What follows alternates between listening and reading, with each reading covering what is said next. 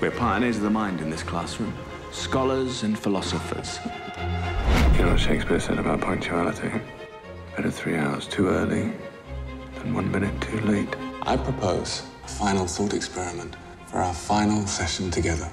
Let's envision a global cataclysm.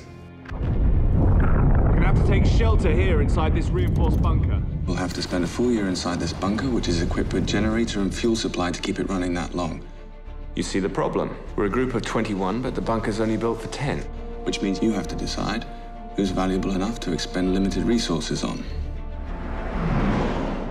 You want to choose at random a card from inside this box. On each card, there's a profession. Based on that profession, your colleagues are going to make decisions concerning your bunker worthiness. You have a brutally short window to calculate who deserves a slot in your bunker. Your one tool, logic.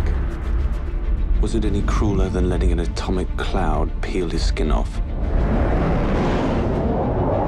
I don't want him in the bunker with us.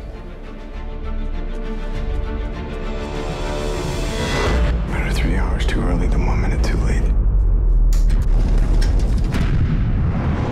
Who are you in this experiment? I am the wild card. Don't worry about it. You'll do better in the next iteration.